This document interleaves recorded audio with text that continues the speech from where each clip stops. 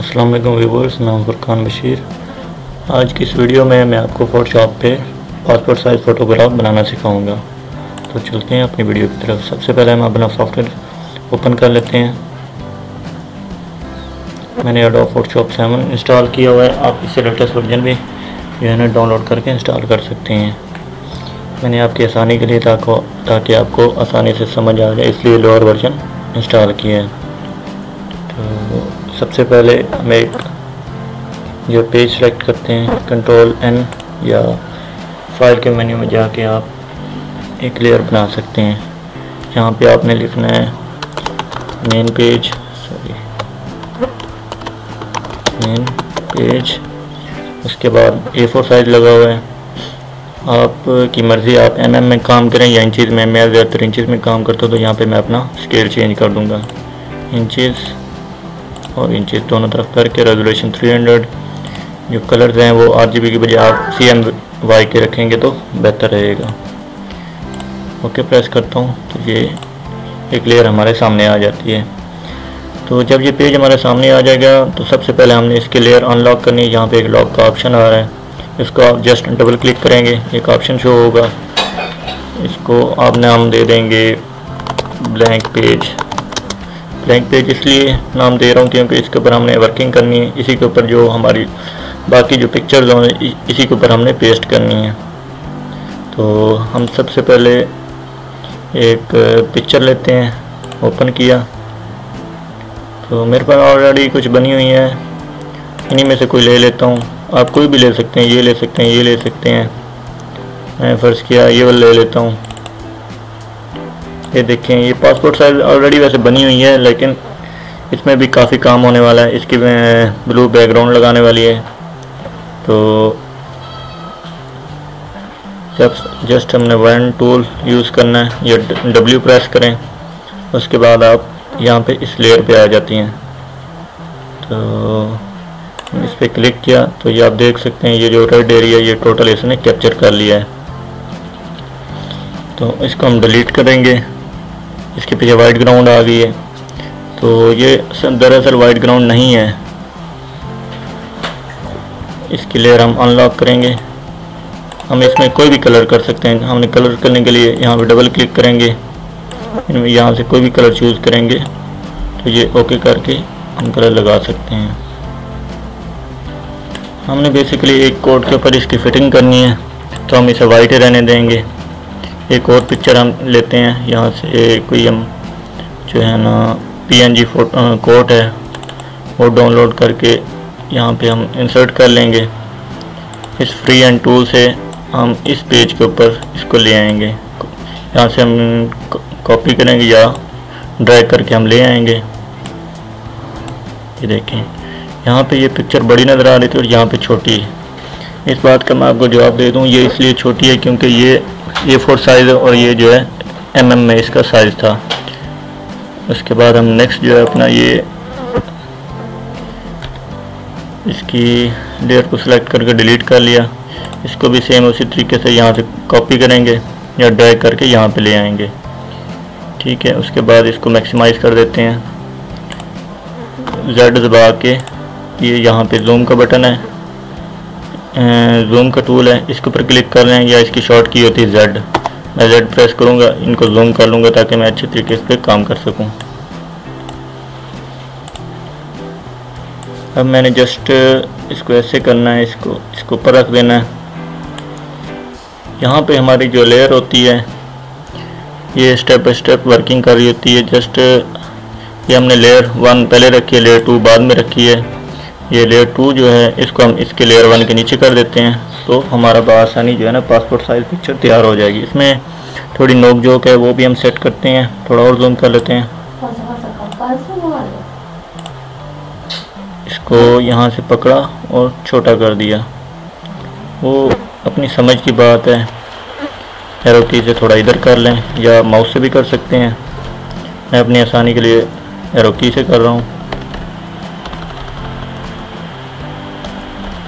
यहाँ से तो सेटिंग हो गई, लेकिन यहाँ से फ्री करने के लिए पहले अप्लाई कर लेंगे। मैं जूम करूँगा ताकि देखूँ कहाँ से फ़र्क आ रहा है। ये देखिए, यहाँ से फ़र्क आ रहा है तो मैं इस कोड के ऊपर क्लिक करूँगा कोड वाली लेयर पे लेयर वन पे। उसके बाद जूम आउट करूँगा। एक मिनट जेड दबा के आर्ट का बटन दबा के रखूँगा और यहाँ पे क्लिक करता जाऊँगा ताकि छोटी होती जाए पिक्चर यहाँ पे फिर फ्री करूँगा। और यहाँ से मैं इसके जो हैंडल है, यहाँ से पकड़ूँगा।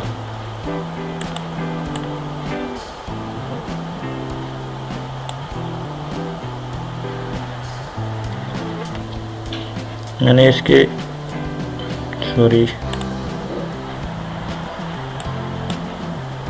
हैंडल्स को यहाँ से पकड़ा और अंदर की तरफ़ थोड़ा प्रेस किया। इसको दोबारा मैं सेट करता हूँ।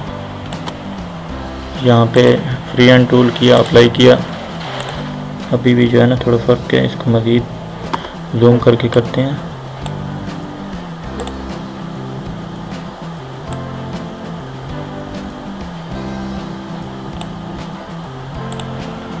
अप्लाई किया।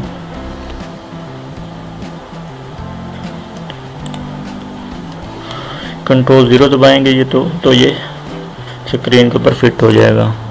तो इन दोनों लेयर्स को ग्रुप कर लेंगे हम लॉक कर लेंगे इसको और इसको। ये दोनों आपस में लॉक हो गई। अब जब भी हम इसे सेलेक्ट करेंगे, पकड़ेंगे तो ये दोनों एक साथ मूव करेंगी। अच्छा तो दोस्तों, ये हमारी जो है ना पिक्चर तैयार है वाइट बैकग्राउंड के साथ। अगर आप चाहते हैं कि इसकी ब्लू बैकग्राउंड हो तो हमने जस्ट एक एक और नई जो है लेयर बना लेनी है। फ़ाइल पे जाना है न्यू पे क्लिक करना है और यहाँ पे जो है ना इंचज़ में one over one point twenty five inches की जो है ना एक नई लेयर बना लेनी है। ये हमारे पास लेयर बन गई। ये पुरानी लेयर्स को आप क्लोज़ कर दें। अब इनका कोई काम नहीं है। इसको भी क्लोज़ कर दें। कोई मसला नहीं। अब आपने जस्ट यहाँ से फ्री टूल प्रेस करके इस पिक्चर को उठा के आपने इधर पेस्ट कर देना है। इसको मैक्सिमाइज़ कर लें। इसकी लेयर लेयर एक लेयर इसकी गायब हो गया हम इसको वापस लेके आते हैं। लेयर हम्म, ये हमारे सामने लेयर्स ले इसकी शॉर्ट की भी होती है F7 आप F7 से भी लेयर्स वापस लेके आ सकते हैं। तो सबसे पहले इसकी जो वाइट ग्राउंड है बैकग्राउंड है उसको हम ख़त्म करेंगे। मतलब कि इसे अनलॉक करेंगे डबल क्लिक करेंगे और ओके प्रेस किया। जिससे जो है ना लेयर अनलॉक होगी कंट्रोल ज़ीरो प्रेस किया फिट हो गई।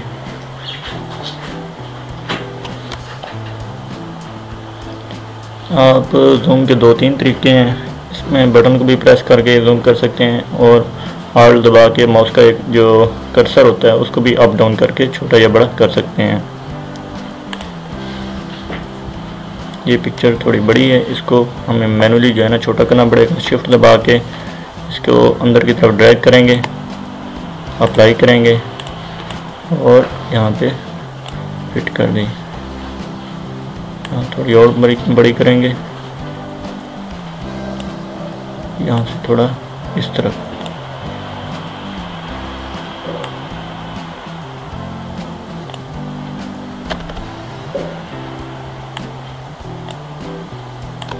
इसको इस बॉक्स के बिल्कुल सेंटर में लेके आना है।